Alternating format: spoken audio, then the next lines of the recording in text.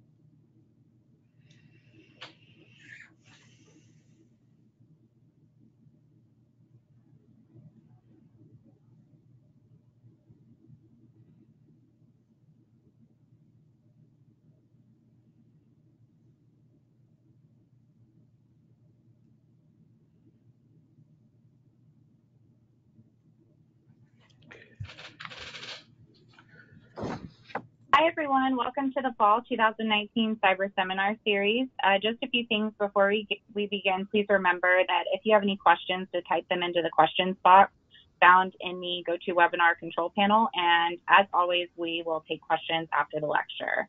So with that, I'll go ahead and hand it off to our host, Emad Habib, who will introduce today's speaker. Yeah. Good morning or good afternoon, everybody. Um, very pleased to introduce uh, Dr. Uh, Maura Borrego. You know, she's from the uh, she's the director of the Center of Engineering Education and professor of Mechanical Engineering and STEM Education at the University of Texas Austin. Um, she's a senior associate editor and former deputy editor for Journal of Engineering Education. She previously served as a program director at the National Science Foundation and on the board of the American Society for Engineering Education and also as an associate dean and director for interdisciplinary graduate programs. Um, her research awards include uh, the U.S. Presidential Career Early Career Award for Scientists and Engineers, uh, National Science Foundation Career Award, and two outstanding publication awards from the American Educational Research Association for uh, her journal articles. All of uh, Dr. Borrego's degrees are in material science and engineering, uh, her master's and PhD are from Stanford, and her bachelor degree is from University of Wisconsin-Madison. Uh, I'm very excited about the, uh, the, the, topic of today's seminar. We'll learn from Maura about her research on how to um, um, improve active learning or reduce student resistance to active learning. Uh, in CUAHSI, we are um, very interested in uh, data-driven education and uh, how to improve um, hydrology education in general. So um, active learning is, is a, a very critical um, topic that we would like to uh, uh, learn from more, more, about her recent research. So without further ado, I'll, I'll, I'll hand it to Maura. Okay, great. Thank you, Ahmad. Um, can somebody confirm that you're seeing my slideshow the way that I probably want you to see it? Yes, we can. Okay, perfect. Um, all right, well, thanks everybody for joining us today. Um, I want to do a little disclaimer about that photo. It's nice to have one when you realize that there's not going to be any video associated with the webinar, but that picture is um, pretty old. I don't really look like that anymore, but that's roughly um, the person who's talking to you today about active learning. So let's get started. Um, we're going to talk about active learning, um, and I've done research in STEM and also specific to engineering education. There's loads of research out there that says that when you actively engage students in their learning, they're going to learn better. But there's also um, a little bit less research out there to know that um, that's not enough for engineering and STEM faculty members to actually be using that and putting it into practice. Um, and if you are, if you're interested in in some of that evidence, the research evidence, I'd say that that first citation, Freeman et al., is probably a really good one to take a look at. Um, I've already uh, given a copy of these slides to the CUAHSI folks, so they will be archived on the website if they're not already, so you don't need to worry about taking notes today. but that's sort of the problem that we're trying to address is a gap between having research that says this works and um, a little bit of evidence to say that that's not enough to, to make people use it. So, so how do we address that? Okay, but um, before we really get going, I want to make sure that if I'm going to throw around this term active learning through the whole webinar, that we're on the same page about what we might mean by that. So I'm going to offer a definition for our purposes today. Um, mostly during the lecture portion of class time, so not necessarily talking about labs, but asking the students to do anything other than just sit there quietly to listen to you lecture or take notes. Um, so that can mean lots of different things. Um, I'm going to show you some data that we have. I'll, I'll sort of come back to the reason why we did this study, but this was going into literature to look at people talking about active learning in their STEM classes. And this gives you a nice overview of some of the different characteristics that they uh, talked about in their studies. So this is across all of STEM. And I would say some of those bars um, towards the top of the page are a little bit less common in engineering and maybe more common in some of the, the other disciplines like showing demonstrations at the front of the lecture class um, and, and inquiry learning and thinking about uh, how you structure lab classes, whereas some of the ones down at the bottom, like doing projects and um, working on problem solving, are the ones that I see a little bit more com- more commonly in engineering classes. Um, you can see it's also a little bit more common to ask students to work with each other as opposed to working alone. But um, either way, again, engaging students somehow with the content by thinking about a question or or working a problem or figuring out what the next steps to working a problem would be during class time is um, is more desirable than you just telling students what the next step is, for example. So I would like to um, get a sense of uh, of the group here that we have today. So I want to use the poll function on on this program, um, and I need to I need to launch it.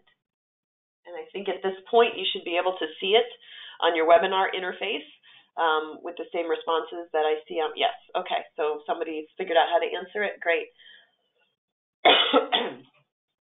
So click on the poll, everybody answer, um, and then if you want to tell us a little bit more about what kinds of active learning you think you're doing, um, or want to tell me a little bit more about your answer, then we can use the, the question panel for that. So I'll give you a few minutes.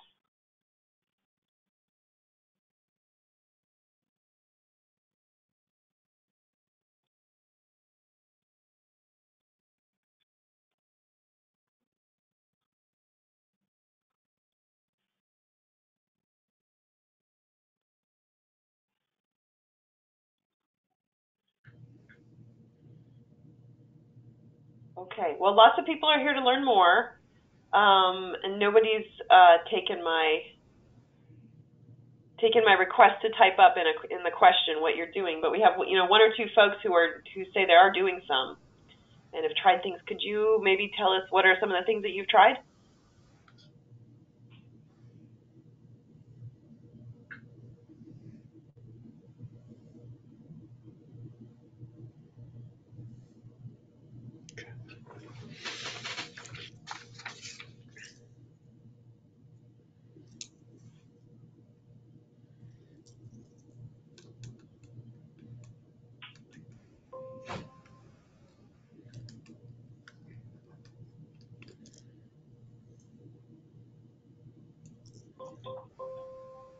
Okay, so I wasn't able to vote, unfortunately, uh, as a panelist, but um, I do. Uh, we we've tried to incorporate uh, more of a hybrid style uh, with a, a, particular course that I teach, um, which is sort of lent itself to opening up a lot more class time for small group interactions, a lot of uh, learning assistant facilitated uh, small group discussions and back and forth between large group and small group uh, conversations essentially.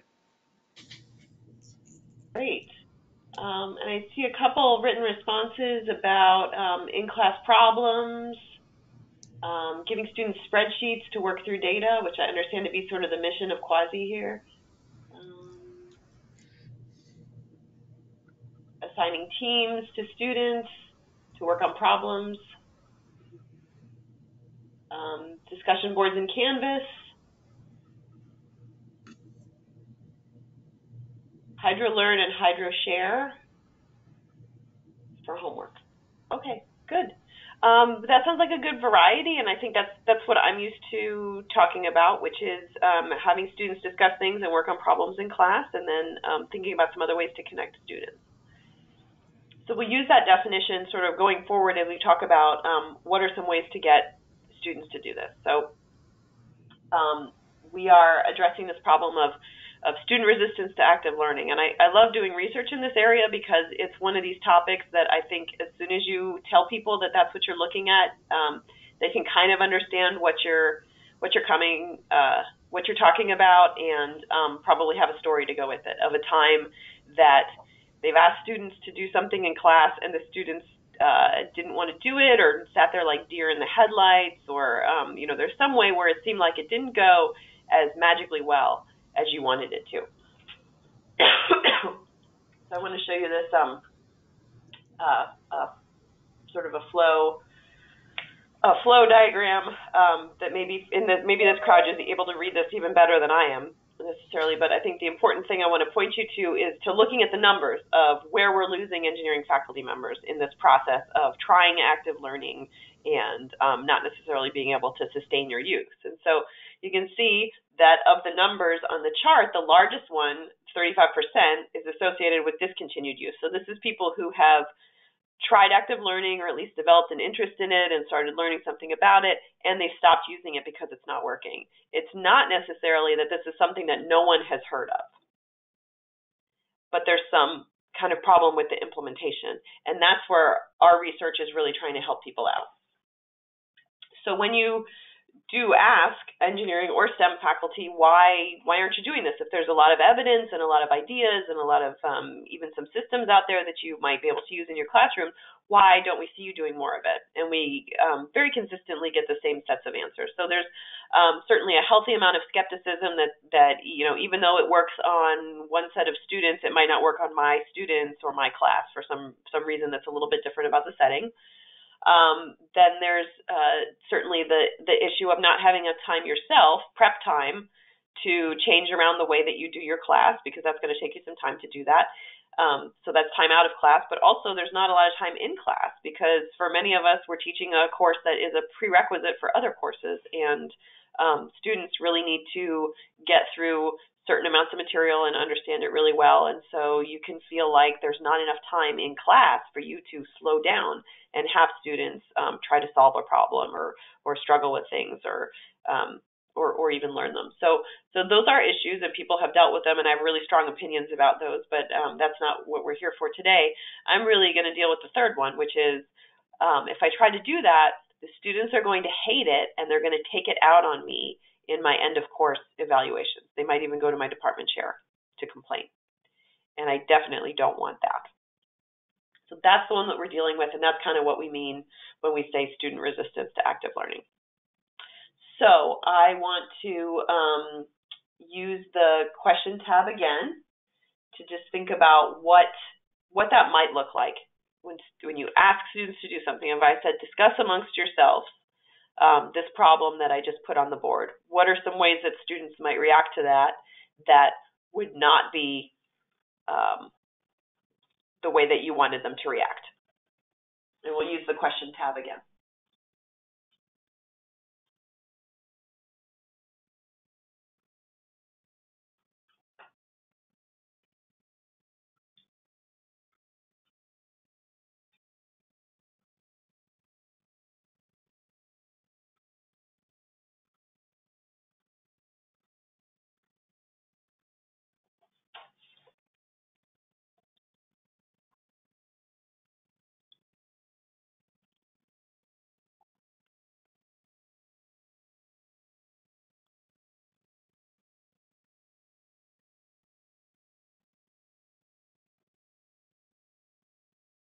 Okay, I've got a couple responses, but I want to see more, so I'm going to give you another minute to think about it.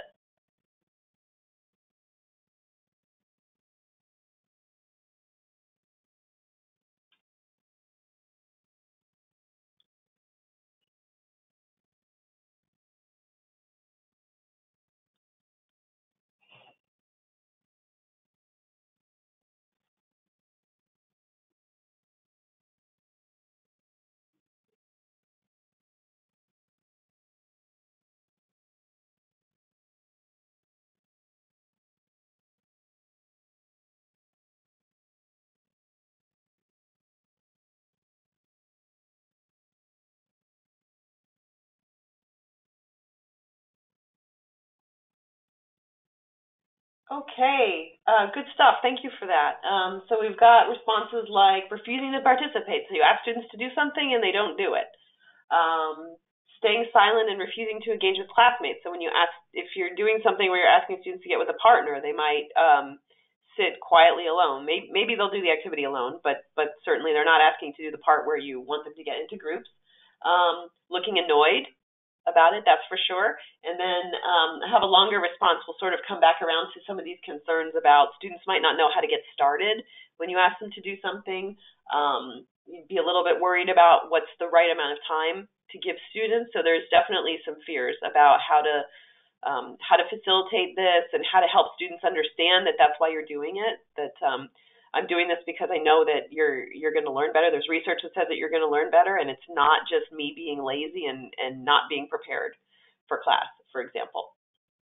So those are all good answers, and and the rest of you who um, didn't actually type answers, um, good job, uh, just demonstrating to us that what that looks like by not participating altogether. Um, okay, so uh, let's um, let's talk about some of the ways that we've actually measured it in our research.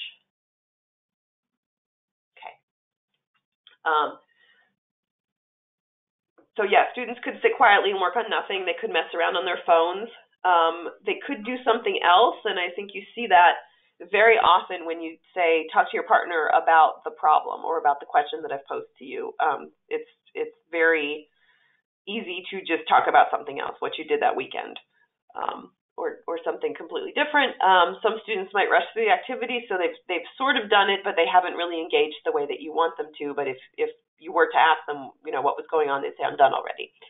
Um, the other one that I think is a big fear is students being really vocal. So if you say to a large room of students, um, "Go ahead and work on this problem," and somebody in the back of the room pipes up really loudly, this is stupid and I'm not going to do it or you know or something like that. A very very confrontational public uh, public version of that. And I I think for for many of us that could be the fear of not wanting to do active learning in our classes. But um, I, I will tell you now and I'll tell you again sort of later when it comes up in the results that in all of our studies in engineering classrooms we really didn't see anything like that. Students are just as non-confrontational as we are, and and they can be very creative about finding ways to um, to work on something else, but but generally they will do it in a very quiet, unobtrusive way. So so there's at least that that this doesn't have to be a, a super confrontational thing. And um, most of the talk we're going to get to um, some strategies to help you around that one too. Okay. So in our in our research about student resistance, this was really something that nobody had done uh, before we tried it about five years ago. So we had to really think about how how would you measure something like this? How would you characterize it? So the first step certainly is to think about what are you know what are the different types of student resistance, um, and then we had to develop some some instruments and uh, to be able to generate lots of data to get statistical relationships um, you'd want to get to something that was like a, a survey that students could fill out um, because then you could you could generate a lot of data really quickly in multiple classrooms. Um, but to get there, we actually did uh, several rounds of talking to students and observing in classrooms. Um, and the one thing I just uh, I'll mention sort of as an aside about how we did the research is we used photographs like the one on this slide where you can see there's there's lots of different students and they're probably um, assigned to do a group activity and sort of validating if what we observed in class was what students thought was going on. So in some of the focus groups, we we looked at these photos with students and said, you know, which students do you think are doing what they're supposed to be doing, and which students do you think are screwing around, and what are some ways that you've um, screwed around in class by not not doing what the professor wanted you to do, and how how are you feeling about that, and those kinds of things. So eventually, that process got us to the point where we could ask students in a in a survey, and one version of this is a Scantron. We do the we collect the data online now, um, but it's good practice when you're doing social science kind of research to not measure things with just one question. So we have sort of multiple questions to get at things of like, I didn't do the activity, or I did something distracting and tried to distract other students. So you can see on the slide, um, there's lots of different uh, ways that you can ask the question. And here we're also getting at um, some other intermediate variables of how the students felt about the activity. Like I thought my instructor had my best interests in mind, and um, you know, or I thought it was busy work. I thought the activities were value. I, I felt like the time I used was beneficial. Um, those kinds of things. You can see we. I'll talk about it later. Came up with a, a sort of some relationships between how students feel about the activities and how much they're willing to engage in them, and we'll, we'll um, we will get there today. Okay, so that's a lot of detail about what our, our dependent variable was that we measured. So how, how students are behaving in class and what we mean by student resistance. So I want to switch gears and, and think about what, um, what would be some of the independent variables. And to get you thinking about um, if I was about to show you some really awesome data that said that um, what the instructor does in class has a big impact on whether students participate or not, what are some of the variables or other predictors that you would want to know about that you would want us to control for or account for or could possibly explain why maybe my results are not as relevant to your setting? So think about that for a minute and again we'll use the, the questions tab to submit.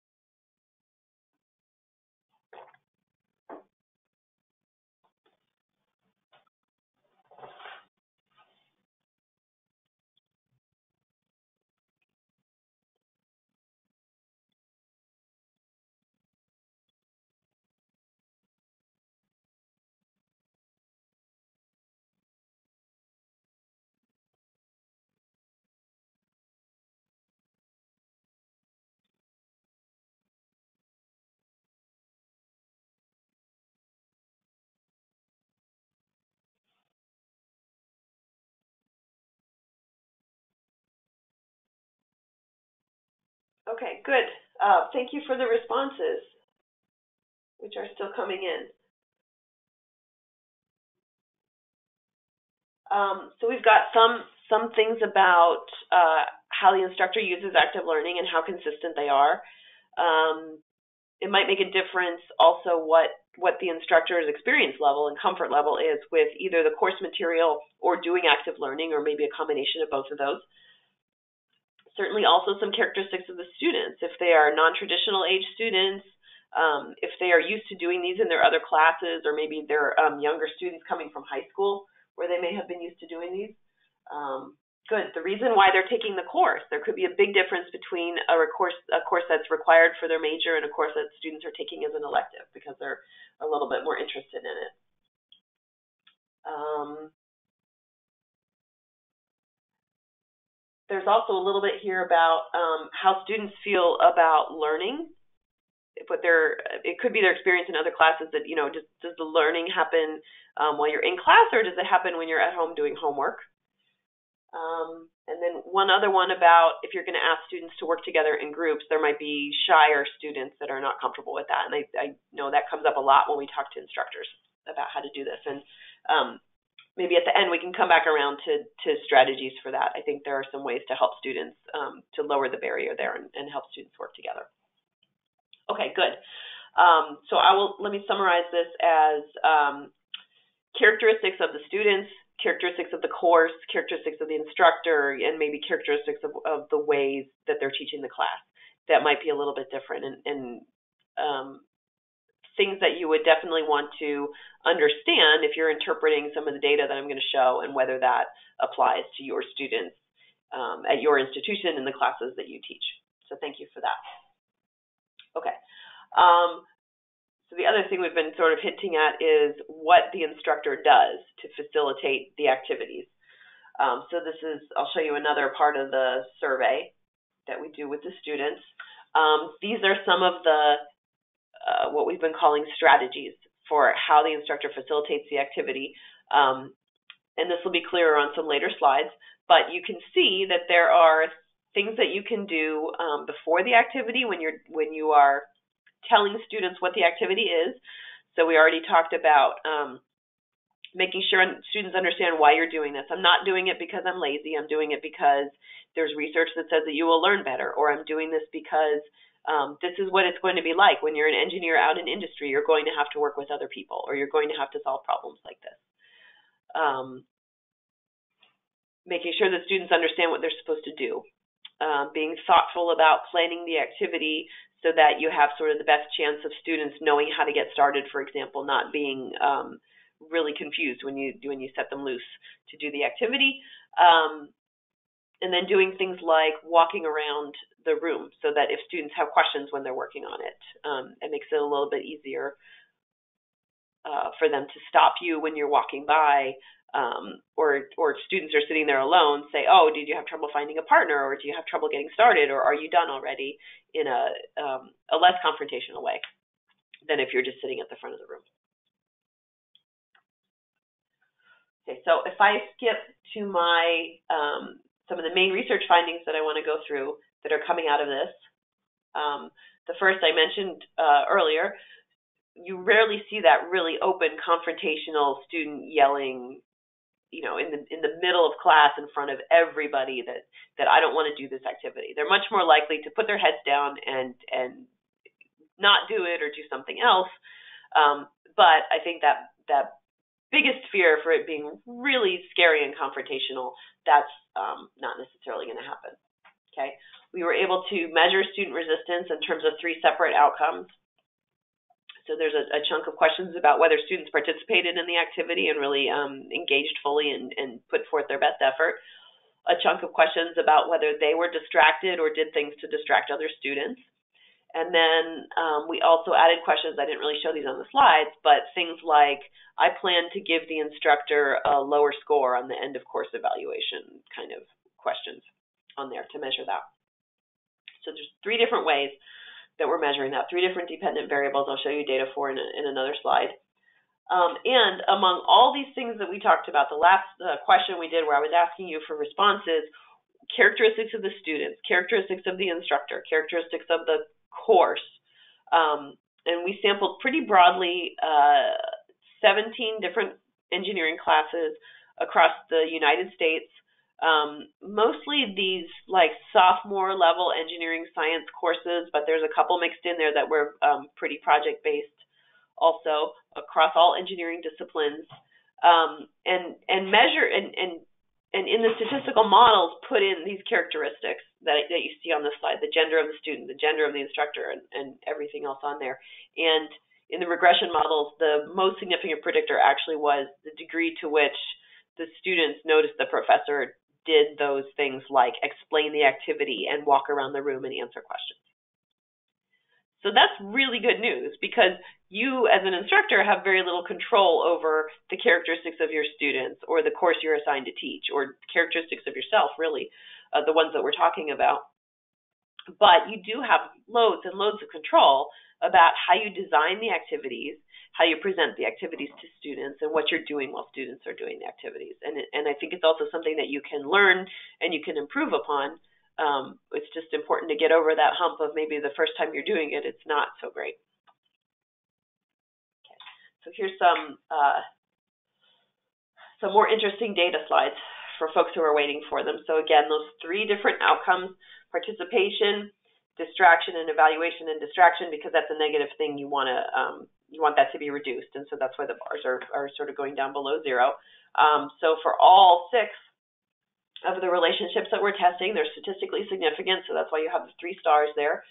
Um, and on the this old version of the survey, we had the two categories: how well you explain the activity, that's the yellow bar, and the darker bar um, is uh, what you're doing while the students are, are are working. Are you walking around the room? Are you checking your phone? Um, so you can see in each case the bar for facilitation is a little bit bigger.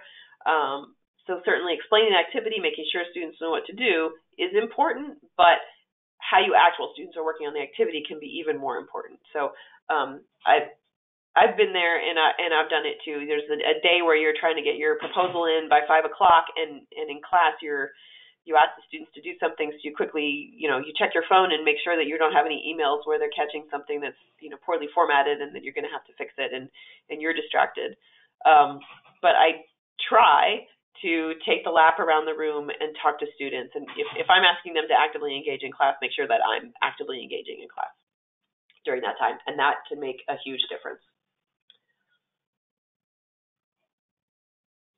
Some other data that I want to show you before we get into the, the more of the details of the um, of the strategies is uh, after we've did all of this research developing instruments and studying uh, 17 classrooms and, you accumulate about a thousand um, data points from students for those relationships I showed you on the previous slides, we also went into the literature to see um, can we see this some of these same trends in the literature. So this is looking at you know papers where people are primarily writing about the active learning that they're doing in their classes, but also have at least a little side comment or something about how much the students liked or did not like the activity or what aspect of the activity they did or didn't like and those types of things. And so there's certainly going to be some publication bias involved there, but I don't think it's as extreme if the primary purpose of these papers is really to talk about the active learning and whether cognitively students have learned more as opposed to the affect of, of,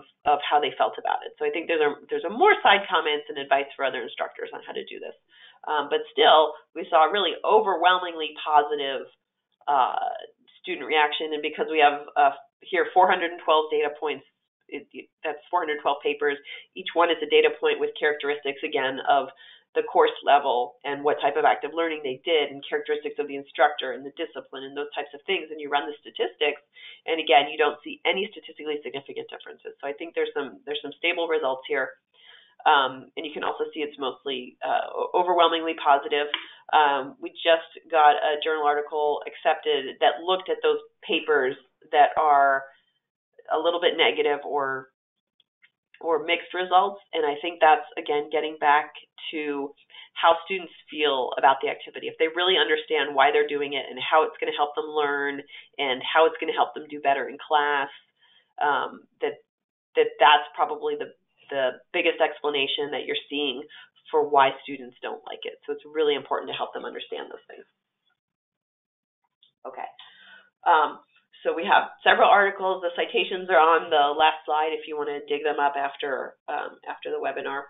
Um, so now we're really just going to talk about the strategy. So uh, there were there were two categories that we had in the data, and there's sort of a third one that came in with some of the, the other research that we've done. So the first one is explanation strategy. So this is when you are introducing the activity to students.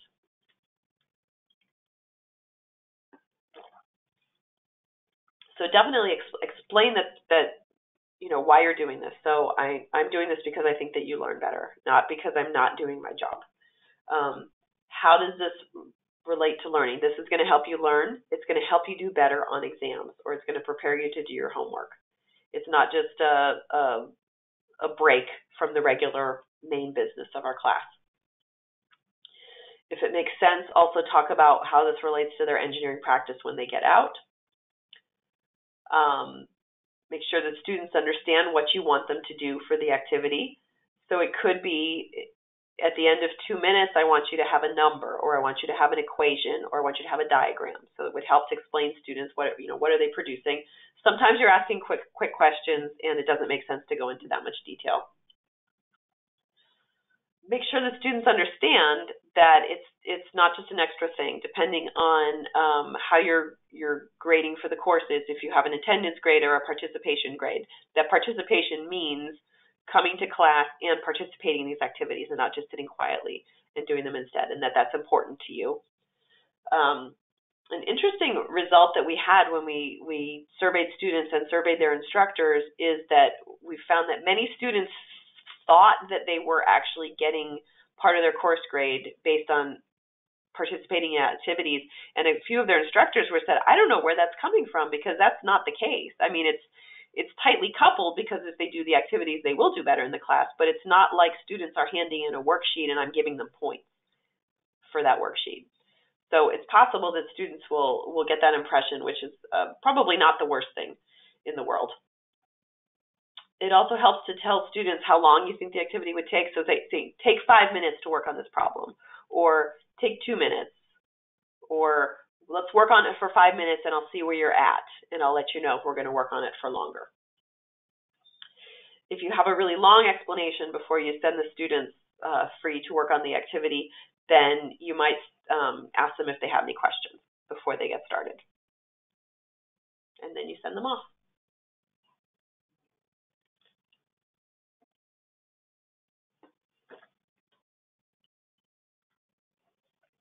Okay.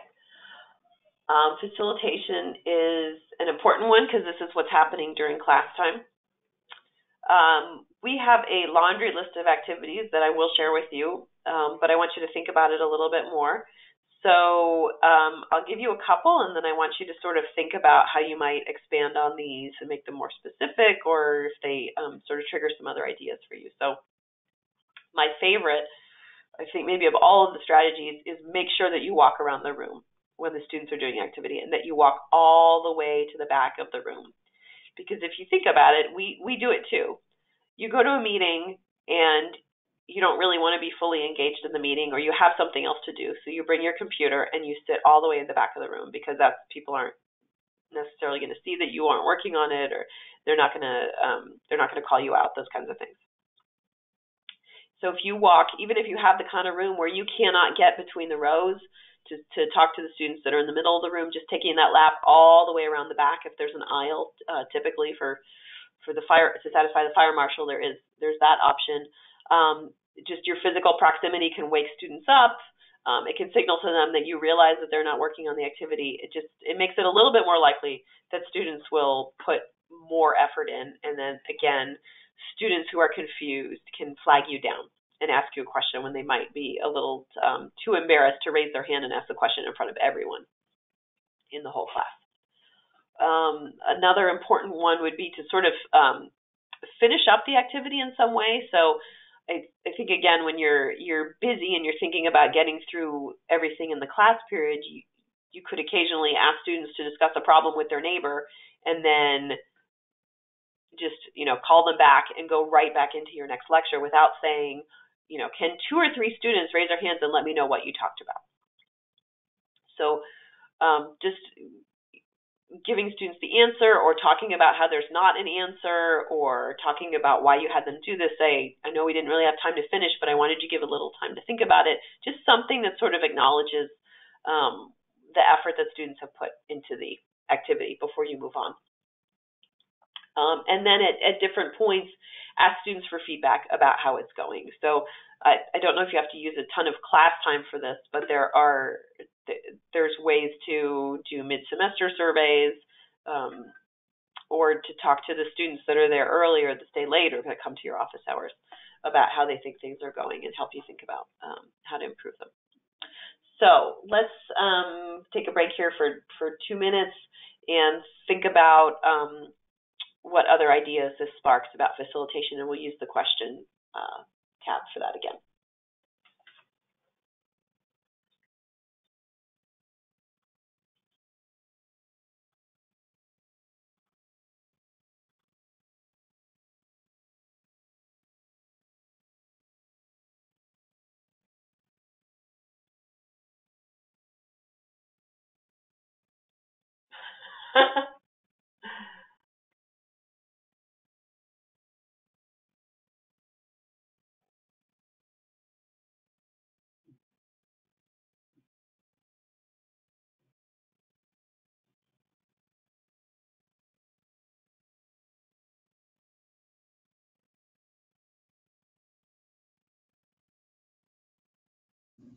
Maura, I don't know, maybe you can uh, use a full mode, uh, full screen mode.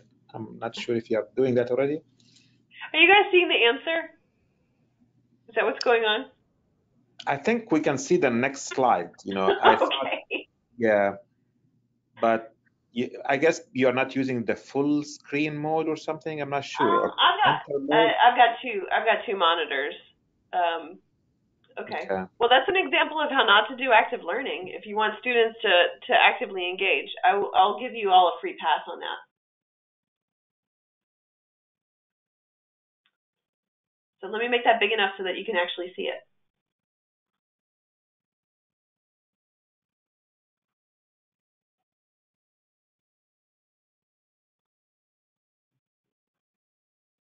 Okay, so this is um, fleshing out some of the ideas uh, that we had on the previous slide. Um, walking around the room, um, there's a lot of controversy around approaching or confronting students who are not working on the activity. I think a lot of people are not very comfortable with that. So that's why I think walking around the room helps quite a bit. But but there are also some very gentle ways of doing that to say, um, are you having trouble find, you, finding a partner? Um, why don't you get up and move two seats down so you can work with this other student who also doesn't seem to have a partner? Or are you done already? Or are you having trouble getting started? Or what what do you think the first step should be? Or you know things like that that aren't um, why aren't you working on the activity? Or why are you being so lazy? Um, but just nudge students a little bit and, and help them understand that you care about them doing the activity. Um, I think the you know the body language stuff again is not uh, not taking your phone and then going to the corner of the room, but walking around. Um, if you're in a room that has some empty seats, you could even sit down with the students. That makes you a little more approachable than than standing over them, looming over them. Um, you could give students points for the activity. So we talked about worksheets worksheets earlier. If you're um, uh, you might have them fill something out and hand it in at the end of class.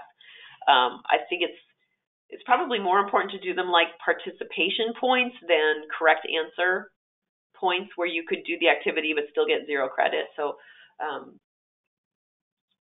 so I, I would do the participation points instead. Um, make sure that you're uh, wrapping up the activity. Um, give students an appropriate amount of time. I want to talk about that for a minute because somebody mentioned in the in the question tab that they were really concerned about that. You, you're going to have students who can do it really quickly because um, they're caught up on all their work for the class, and there's another set of students that's going to have trouble getting started and is not going to get through the activity, and that's that's okay. Um, that's another reason why it's good to walk around. You can see when students are done. Um, you can even if you do this a lot, you can hear uh, just the volume level in the room will be it'll be steady, steady, steady, and it'll go it'll dip for a little while when a lot of students are done, and then it'll start going back up again when they start talking about other things. And that's um, a really good time to end the activity. Um, but also, it's not necessarily that all students need to be able to finish uh, the you know the problem or whatever that you're working on. It's important that they just had time to think about it enough so that they are primed for the answer when you give it to them. They're invested in the answer, and it might be important to mention that to students that that this isn't about me always giving you enough time to work on the whole activity. It's about giving you enough time to to consider it. Um, and I already mentioned that you can solicit feedback in uh, in formal and informal ways from the students. That's going to help you think about whether it worked or not. Okay, and then the last chunk is um, the planning and feedback. So this is um, you can't just the morning of class think this would be a really interesting question to make my students talk about during class. Um, you have to think about how, how it would fit in with the rest of class. So if you're going to tell students that we are doing this because it helps you learn and because it's going to help you do better on your exam, um, then then you should probably come up with activities that actually do that. And that takes time and energy on your part and, and reflection. So um, when I when I do my teaching, I find it so much easier to spend a few minutes um, after not every single class period, but after large projects and at the end of the semester to make notes to myself while it's still fresh in my mind about what I want to change for next year. Because the whole year later, you're not going to remember what worked and what didn't work. So, um, spending a little bit of time and thinking about how you might want to do things differently. Um, couple of others I want to point out too. Plan activities involve everyone's participation. So um, there's a couple different ways to do this. You can get really creative with, uh, you know, who needs to report back or who needs to write down the answer or or those kinds of things. Um, but you definitely don't want to give students an activity or a project that you've assigned four students to do, but one person could do it really easily on their own. Something that's big enough and hard enough that really requires multiple students to work on. Um, I think it also helps to have a routine so that students understand that at least for this class, it could be different from all of your other classes, but for this class, when you come to class, expect that there's going to be at least one activity every class period. Um, and if you use similar activities, then that also shortens the time it takes for you to explain them to students. There's, it's possible to get in a rut and, and you might want to change it up a little bit. But if you say, you know, every class period you come in and there's a worksheet where we're going to work on problems together, that also can make it a little bit easier for students to engage. Um, and then if you're going to do really big things, think about structuring it into small steps. And that, that might be something more like a, a project that takes um, you know, multiple class periods or multiple weeks for students to do that? What are what are some of the intermediate steps that would help students get there? That reduces the chances that they'll be completely lost and overwhelmed. Okay, um, so we're just on a, a couple wrap-up slides, and then we can switch over to questions. Um, but I did I did mention um, how students feel about the activity. So I want to be just a little bit clearer about that. We've been treating this a little bit like a black box where um, instructors do some things in class and then students magically participate in the activities. And we're starting to understand that how students feel about the instructor and the activities and about learning is really the reason why you get them to participate. So helping them um, understand that you care about their learning, that you're doing this because uh, research tells us that it's going to help them learn, and um, maybe this, you know, you could mention that it's actually not it's actually not easier for you to do to ask the students to active learning because it takes just as much preparation time for you to figure out what kinds of activities the students are going to do and that they're the right activities for the students. Um, and that's it. I just have you know a couple sort of handout kinds of things, but again, these are going to be on the website, so we have the citations to the articles, um, and these are really in the order that I think you would want to read them. So if you're going to read one article, read the first one, um, and then I have loads of collaborators. So uh, I'm going to end there and um, let us switch over to questions. Thanks, everybody. Yeah, so it doesn't look like we have any questions yet. So if anyone has any questions, please feel free to utilize the questions box um, so we can move forward with that.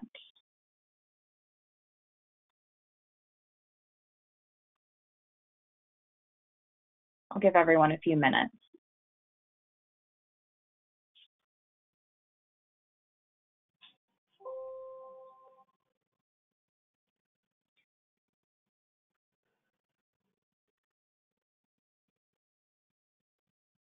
So it looks like we have one um, asking, what is a good breakdown between students who are moving quickly versus slowly? For example, 70% of the class completely done. Oh, that's a that's a great question. I haven't thought about it that way. I think um, you know what I was saying about the volume in the room probably does correspond to something like 70 or 80 percent of the students getting it done. Um, you can also sort of add a um, like a bonus? Like if you've you know if you finish that start thinking about this other aspect of the problem or what you know what it would be if we changed some aspect of the problem so that the students when they when they finished have something else to work on. Um, but it really depends on the nature of what what you're asking them to do too. So i think i think walking around the room and seeing where students are at um, can give you a really good sense. It also it, it helps you catch um, if everybody's stuck on the same thing and make a quick announcement if everybody's confused about the same one instruction or one or one detail.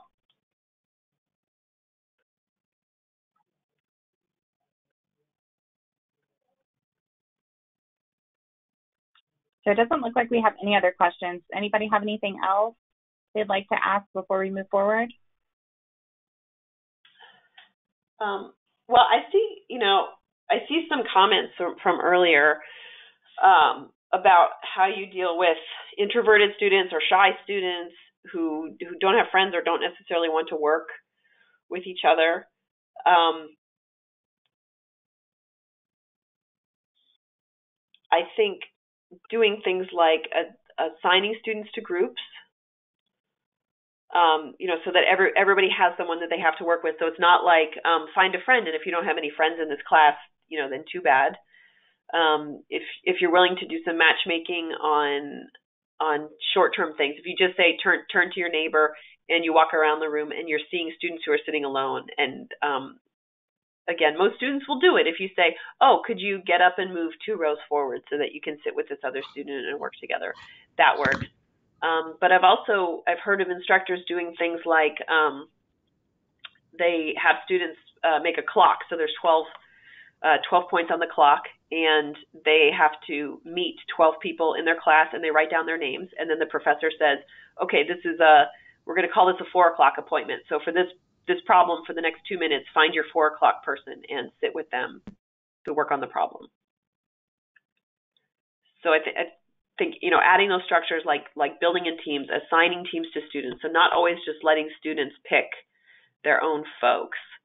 Um, can help them get to know at least a couple students in class, and may- maybe they won't study with them outside of class or make friends or anything. But when you say we're going to work on group things in class, they do have someone to work with. Perfect. Thanks, Maura. Um, does anybody else have anything to add? Inslee, can you hear me? Yes, I can. Okay, I have a question. Uh, I could not type it in the question box. I'm sorry, but um, oh, okay, that's okay. It's a two-part question, actually, Maura. So, um, did you uh, did your research also cover like out-of-class active learning activities?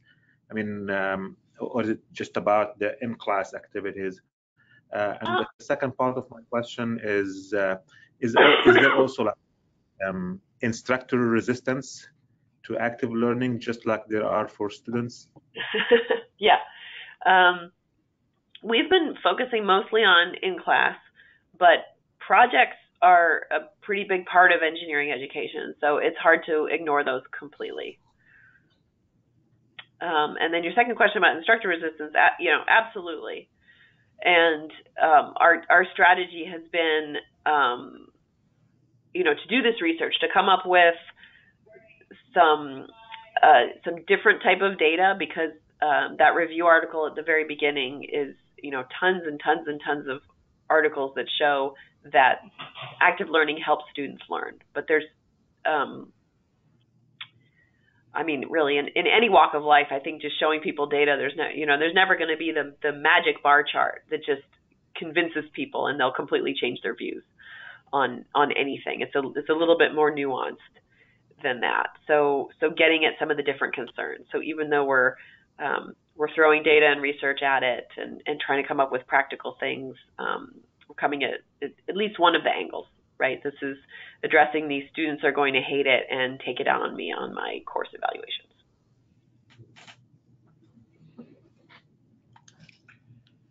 Thank you. So it looks like we have another question that just came in um, asking or saying, I've had students who have actually told me that they would have anxiety attacks if they were required to work with other students and was even told by student services that I would need to have them work alone. I have had this happen twice, and in both cases, the students did considerably worse in the class. How do you adapt to such cases? Wow. Um, I I've never heard of that. Um, I would personally um, at some point want to talk to the student services folks and maybe bring bring some of that evidence to say that there's there's research studies that say the students would do better, but honestly, I've been through this two times now, and the students um, don't do as well. So, uh, you know, can we can we talk about you imposing this requirement on me, or or could you help me understand a little bit better where the student's coming from, and if there are some ways to lessen the anxiety for that student? Um, in terms of class, I mean, if you're doing things like, um, pro, you know, projects or problems, and you want students to work in groups, then you're, I guess, you're coming up with an accommodations version that's not, maybe not as complex, that students can work on, eh, you know, on their own to turn in. So you can think about how to scale that back. Perfect. And in the essence of time, uh, looks like we can take one more question if anyone has anything to add.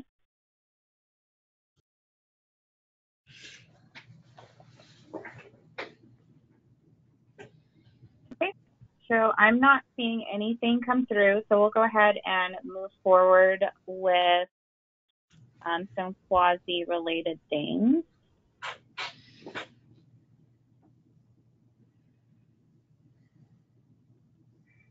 Okay, so we have a few upcoming events and deadlines we want everyone to uh, be aware of. So the first deadline is the Pathfinder Fellowship. Uh, the Pathfinder Fellowship is something awarded to graduate students in hydrology and related fields to make an extended trip um, to enhance the research um, by adding a field site to conduct comparative research. So the deadline for this is actually this Friday, October 11th. So there are just a few more days left to get uh, your applications in for this. Um, and the next we have, uh, there's actually a free workshop taking place before the AWRA conference next month. Um, so the workshop is November 3rd from 1 to 5 p.m. And if you're interested, you can find out more information on CUAHSI social media and uh, CUAHSI's website. And then finally, we have another fellowship opportunity. So uh, CUAHSI's Hydroinformatics Innovation Fellowship. Um, this fellowship is awarded to support a hydroinformatics product that will be disseminated to the CUAHSI community, and awardees can earn up to $5,000 for eligible expenses. Um, the application deadline for this is actually this Friday, October 11th as well. So there's not much time to get these in, um, but you still have you still have a few days. Um, and if anybody has any questions or concerns about either one of these, you can contact Jon Pollak um, at CUAHSI to find out more. And then there's also more information on the website as well. Uh, so with that, we want to thank everyone for joining us today, and we hope that you join us next week, um, where we'll be joined by Cory Forbes, who will be talking about teaching and learning about hydrological systems in an introductory undergraduate water course. Thank you, everyone.